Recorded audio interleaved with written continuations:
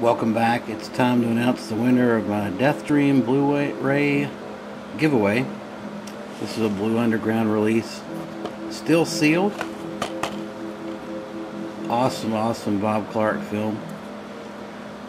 Alright, I've got uh, four people that entered this thing. Let's see, we've got Tom H., Jason Marshak, Andrew Belina, and It's in My Blood, 79.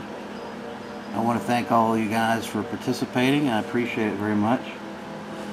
So what I'm going to do now is just, I'm going to put these names in randomizer and whoever comes out on top will win the Blu-ray. So let's go for that. Let's see. Ah.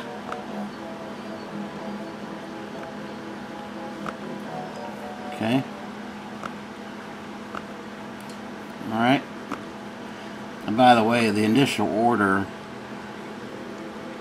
the names in the initial orders is the is in the same order as uh, when they posted their video. I don't think it shouldn't matter, but you never know. People. Let's see what happens here. We're going to do hit randomizer one time, and whoever's on top is gonna gonna get it.